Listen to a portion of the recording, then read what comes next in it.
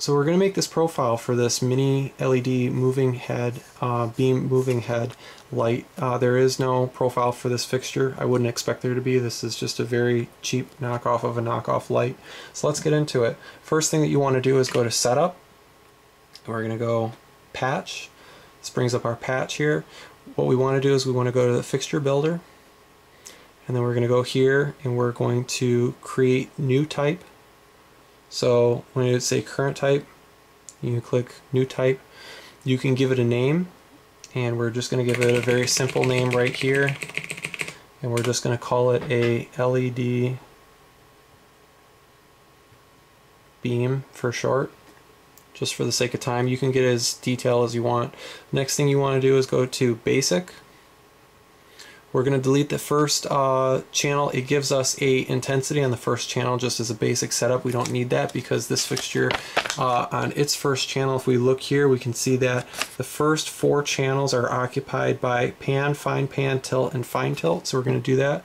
So we deleted that first one, but now it gives us a um, plus and a red X. We want to click on the plus and what we want to click on is for 8-bit and 16-bit 8-bit means that uh, pan and tilt are just two channels but if you have pan and fine pan and um, tilt and fine tilt that's going to be four channels so that would be a 16-bit so we're going to click on 16-bit because that's the setup that we have. The next thing that we're going to look at right here is the uh, pan and tilt speed now uh, we're going to click on the, the plus symbol here. This fixture doesn't actually have, um, or this, this basic interface does not allow us to input um, that kind of control.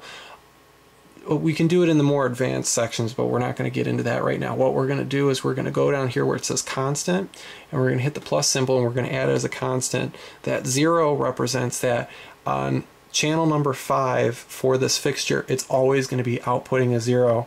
And we can check that that's okay because if we look here, it says the speed of X and Y from fast to slow. So basically what this is telling me is, is that uh, when the fader is all the way down for channel five or when the, the output is zero, on that specific channel, it's gonna the the fixture is gonna move at its fastest speed, and then the the closer that you get to 255 or the equivalent of having this fader for channel number five all the way up, it will be at its slowest speed.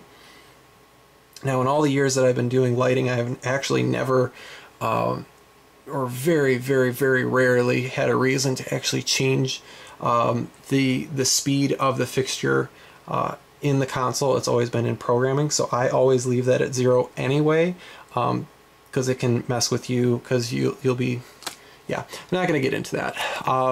Next thing up is the dimmer.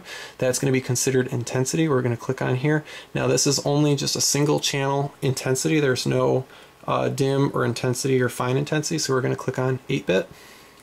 We're going to go here to the next one, which is number 7. That's strobe. So we're going to go, we have a simple strobe. There's no uh, random strobe. There's no ramping. There's no nothing like that. It's just uh, if the fader is all the way down on channel 7, uh, the equivalent of the fader all the way down channel 7, it will um, be open and then once you get above 1% it'll start flashing at that rate. The next thing that we have here is red, green, blue, and white. Since this is an LED fixture, we're going to go in here and we see here that our color mix, we have RGB, RGBW, RGBWA, cyan, um, magenta, and yellow. Uh, for these first three are for LED fixtures, and this last one is going to be if you have uh, a, a, moving head fixture that has dichroic glass, but we just have an LED light, so we're just going to click on RGBW. So essentially this fixture has been built. There is one key feature that I want to tell you about that you must turn off in order for this to work correctly we go to functions, if you look here where it says virtual intensity, we want to deselect all of these because otherwise when you go to turn up the intensity on the fixture, nothing will come out of the out of the fixture. It'll just be dark and you'll wonder what did you do wrong?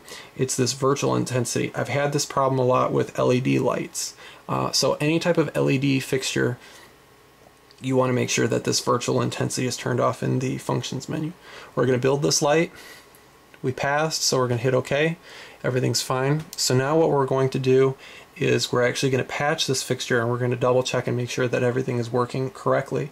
So what we're going to do is we're going to go to fixture scheduler.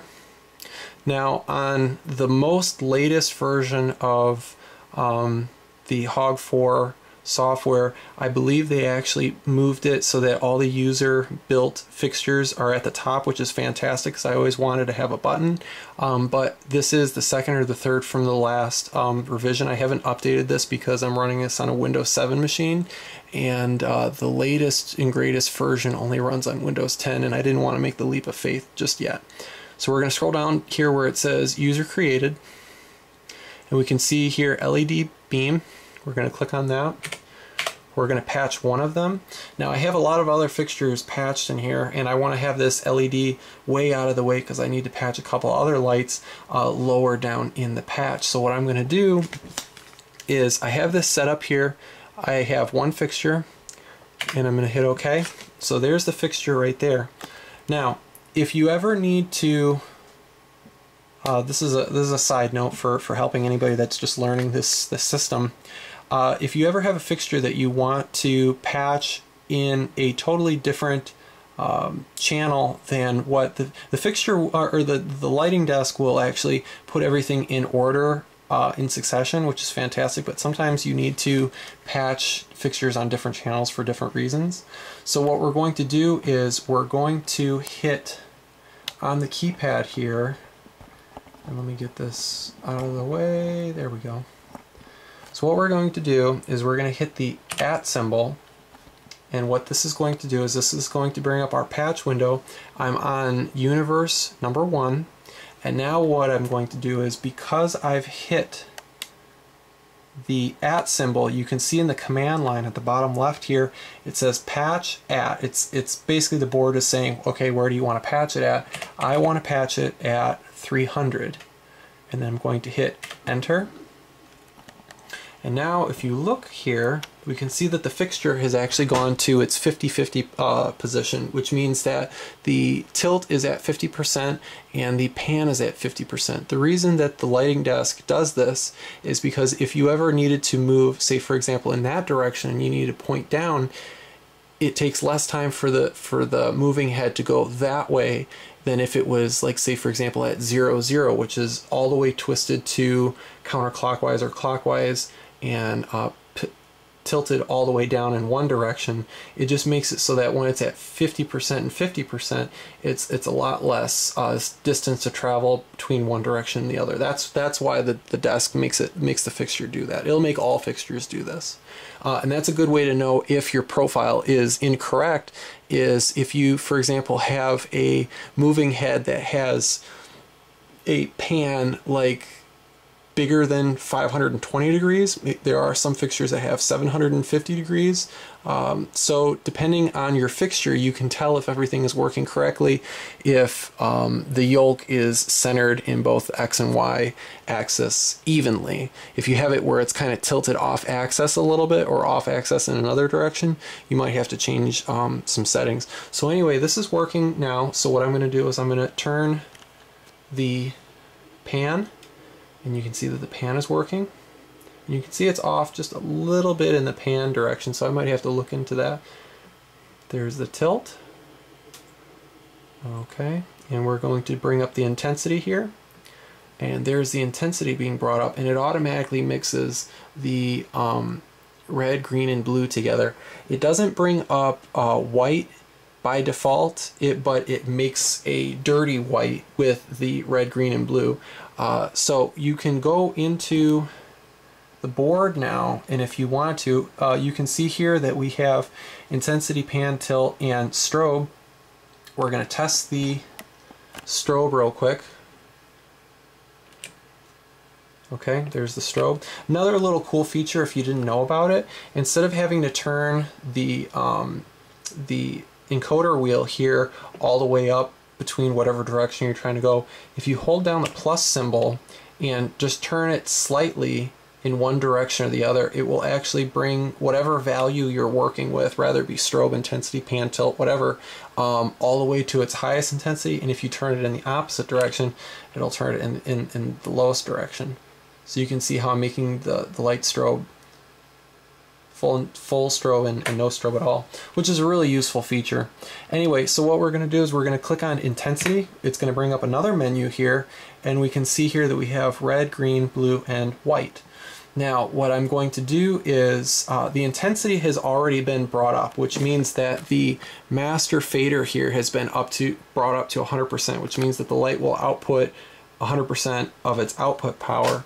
Now what we're going to do is we're actually going to turn on just the red. The way that I did this is in where you have the eye red, green, blue, and white, uh, I'm telling it, okay, now just output just red.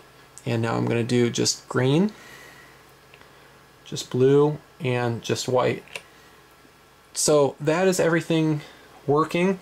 Uh, I did uh, leave out, again, the pan tilt speed, but I have rarely, if ever, use that function on a moving headlight. And I, I think for the sake of getting your show up and running with the fixture that you're trying to work with, I think this is the fastest way to do it.